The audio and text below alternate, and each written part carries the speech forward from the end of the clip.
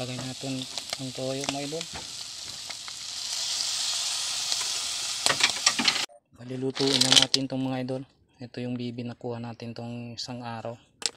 Balilagan lang natin muna natin ito mga idol para maialis natin sa talukap yung mga laman. Tapos adobo lang mga idol. Bali hindi na natin itong lagyan ng tubig mga idol kapag laga kasi pag nainitan na to kusa lang ito magkaroon ng tubig kasi may mga tubig na ito sa loob.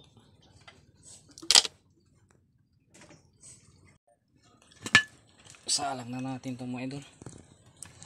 Yan.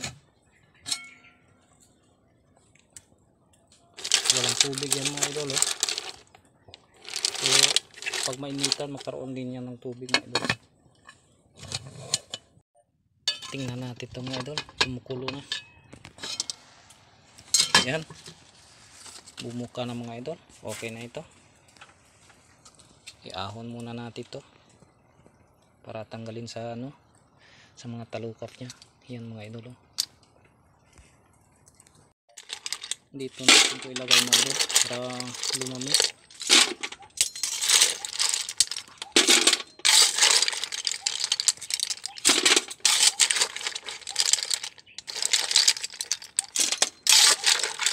Ayan. Hugasan lang natin ito mga idol bago i-adobo.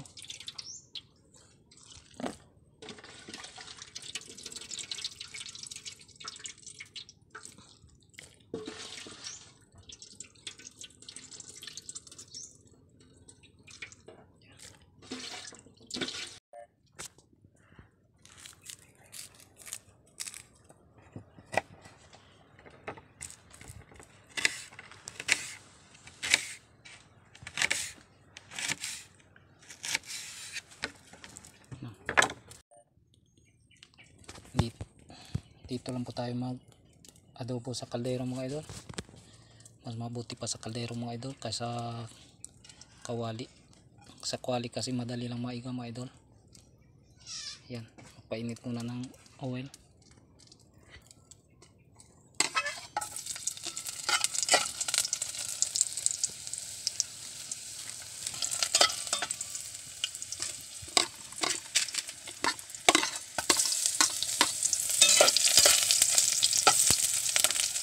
Kain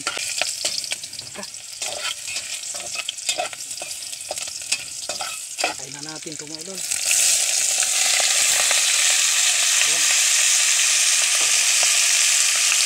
Lagay na ang paminta mga idol. At saka laurel.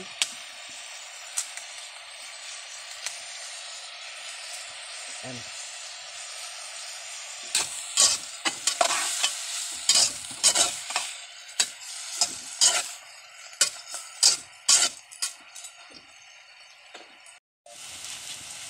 Konting seasoning mga idol. Lagay natin ang toyo mga idol.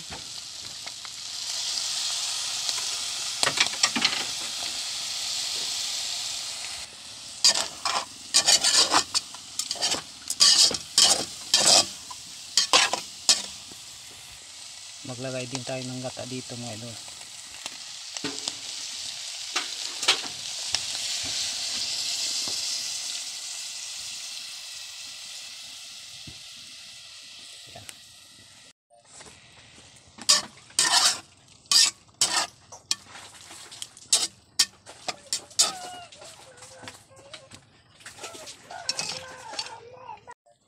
Tikman natin itong mga idol.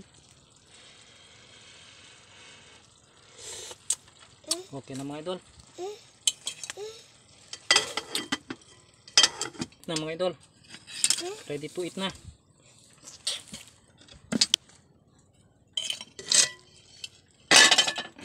Yan.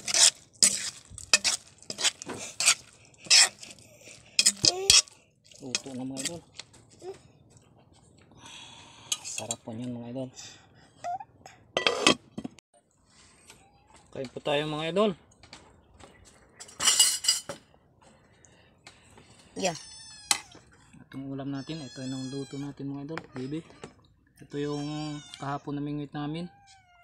May adobo pa. Dami. Ah, kain mga idol, kain.